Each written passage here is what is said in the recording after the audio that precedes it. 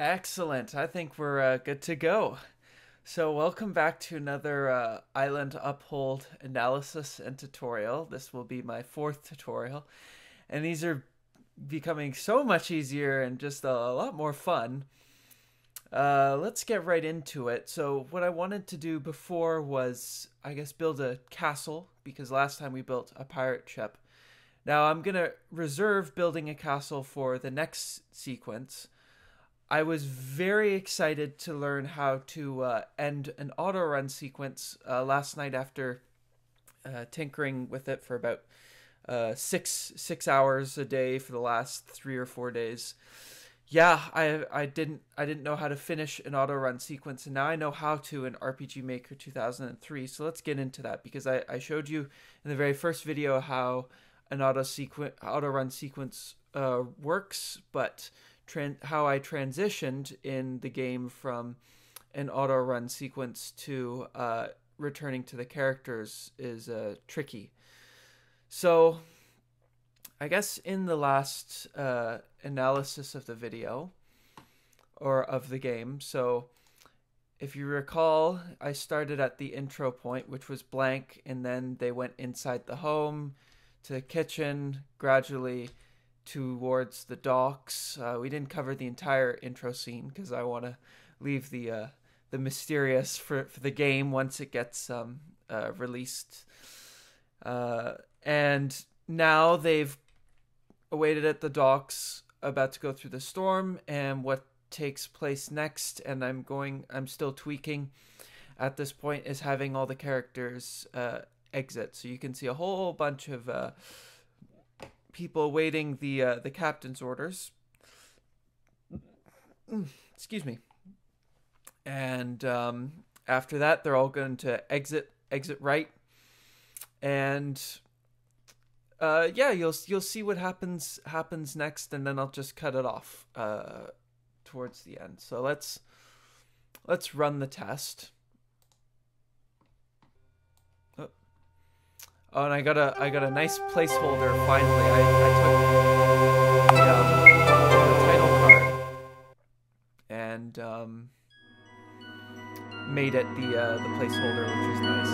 Anyway, so here's the continue point. So get inside. I have a little uh, screen shake and tint, and we can go over that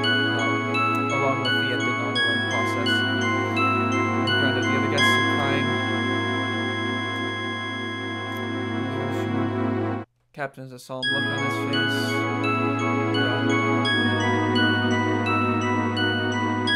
What's going on? I want a refund. Unsafe, let us speak to the captain.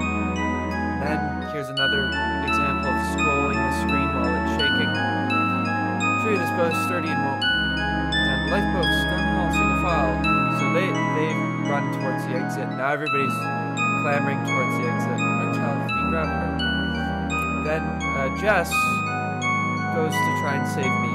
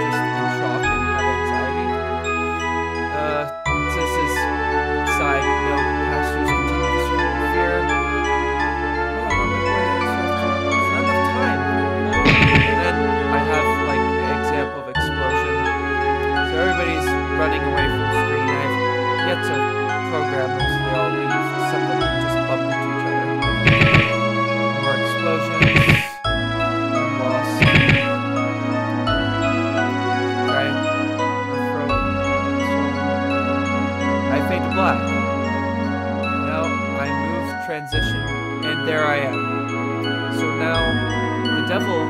So this is a euphemism for hell. Da da da da da da da da. Says, "Come, boy." Bah ha ha ha. Arrow keys to move. Use the spacebar talk to others. And don't touch the lava. Uh oh. okay, so I have it. I have it in loop. I'll, I'll fix that in a minute. Um, So there's the, the auto run sequence. Um, I forgot to finish up my code from last night, clearly. So let's let's go into it. Um, so we have, I guess in this instance, a very long string of code. But everything that I detail is going to be quite important, and when I fix it, uh, you'll see that the character is going to be right up and moving again. Um, that'll be a very simple fix. Apologies. So we have all this text, right? And we have where the character is supposed to move. I have the shake screen, uh, which is select. You can select that at the very beginning, and you can see how long that the sh- the shake is supposed to be and when it starts. So I have it very weak. I have it very slow. So once they've said all that stuff, we're scrolling the map, and now once they say that it won't uh, then I have it shaking a little bit faster. The rain, I've changed the weather effect from a, a, little bit of rain to a lot of rain, which indicates like the, the boat is split and it's starting to rain inside the boat. So now they're going to the, the lifeboats. Then this is pandemonium, right? So I have all the characters individually assigned so that they can uh, move, move, move, move, get get out of the way, and down this this uh, small hall right here. So run, child, grab with me, or gra- run, child, with me, uh, grab her, and then the the tick Jess and her mom and the ticket lady sort of move back because you know was like, what is Jess doing? Uh, you know, you're supposed to be going the other way, and and the rest of us move back. Uh, you know, same movements, movements Another guy moves at different points in time just to keep it interesting.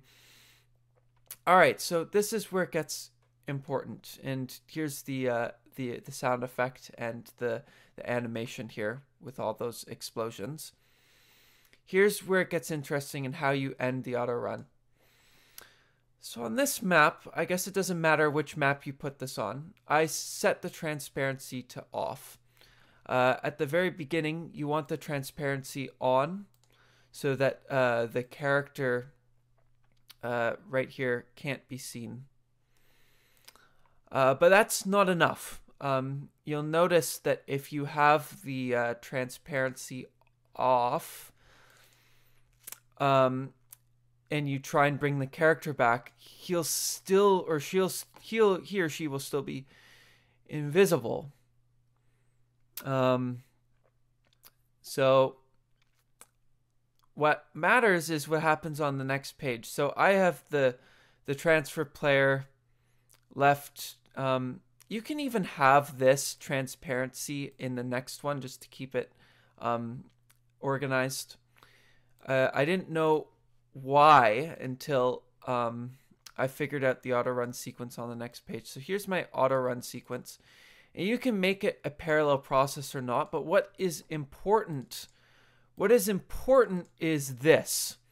This function right here, which is change party member, and you add back uh, your character, which was missing. Um, you can find change party member under change actor nickname, change, and this is what took me so long to figure out. Um, change party member right here.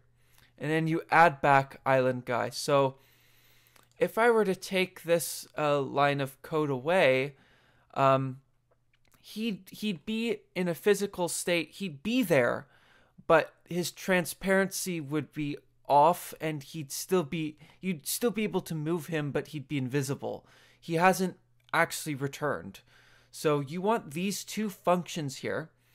Then you uh, set it as an auto run sequence, right?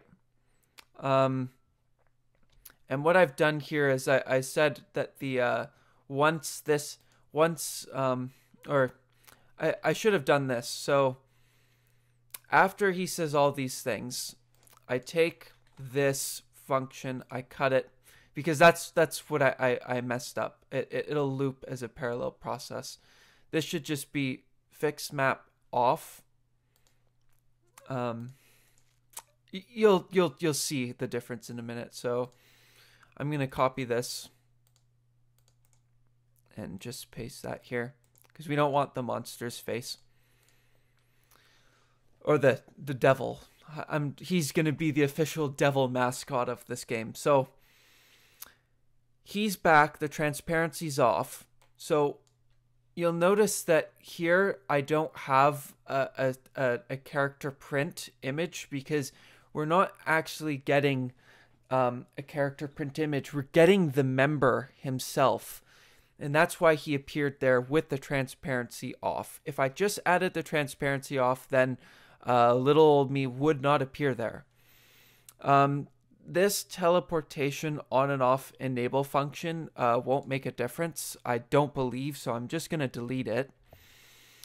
I wait for two seconds. I have the text, come boy, bahaha. Then I tell people what to do. And once the auto run function's off, this is also important as a switch because I talked to you briefly about switches and how to add them and use them. Then you want to say the scroll or once it's on, the scroll map is fixed off, uh, unfixed. And why this is important is because you want the map to move with the character. Uh, in auto run sequences, you have uh, the the car- the the uh, the map moving uh, very specifically, uh, and you could you could see that in. Oh, one sec. This this this will work. This this this definitely will work. Um, and if it doesn't, I'll be I'll be shocked. Um, I have scroll map where I have it just scroll here and it's away from the player. Then I have it sort of scroll back. I'm in control of that. But once you once you get into the game itself, uh, you want that that scroll map function off. And again, I'm just analyzing my game. Um, we're gonna just go right into it. It asks me, "Am I sure I want to save?" Absolutely. Uh, now that I fix that little bit, I'm gonna go back here and I'm just gonna run through the, oops. Um, I'm gonna just run through everything really quickly. Just hyper press.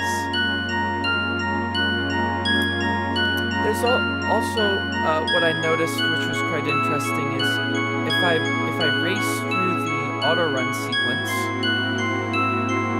if I race through it like this, it definitely uh, has a different output on um, how how fast or where the, the characters end up. If I if I just race through the text versus I don't, uh, which can lead to other problems. But at the same time, I guess what's good news is that yeah, they all move to the the other side uh, regardless. So yeah, they're on they're on that side, um, and I guess that's that's I guess good good enough for the point being that they're they're racing towards the end of the hall. So my throat, my soul, yes. Okay, teleported. There I am. Dot dot dot dot. Come boy, bahahaha. Arrow keys to move. Spacebar to talk to others. Don't touch the lava. And we're off. And there you go. See? Voila! I'm walking. I'm gonna, and if I run into lava, as I said, player touch, and it's a game over. So, I guess that's.